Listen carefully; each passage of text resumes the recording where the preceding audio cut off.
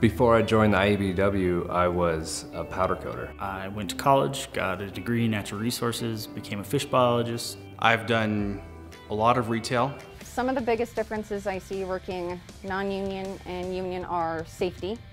Um, and then for a standpoint being a female in the trades, there's a lot more respect I found union side. Honestly, the brotherhood, really, you know, that, that's, it's been pretty awesome. I was in the military prior, and this is the closest thing to like a real brotherhood that um, I've come to find in the civilian world at least. The schooling is a very small price to pay for the career. I'm not living paycheck to paycheck anymore. Even as an apprentice, I got a pay increase after this first raises. It was like every six months for the first couple years.